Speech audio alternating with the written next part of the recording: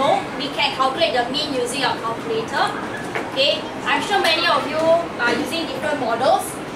So how to use the calculator, I did not type this out for you because uh-huh. you are using different calculator.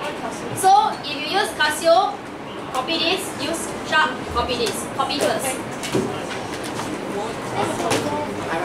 Why?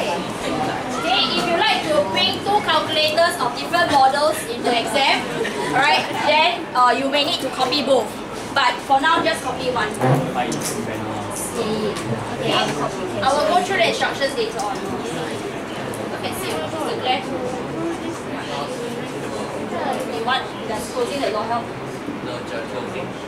Sing shape. Oh, that makes so much more sense. Why it's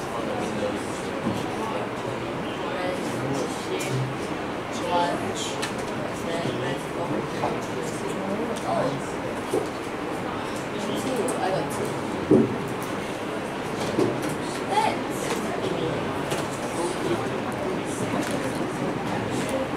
哎。哎。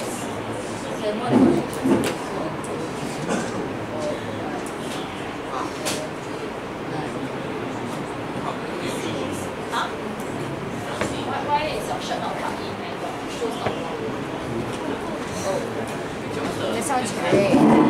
Step, Go to go to one one variance. Oh, Oh my god. Ah, my eyes. Actually, I can turn it off. Right? Recording.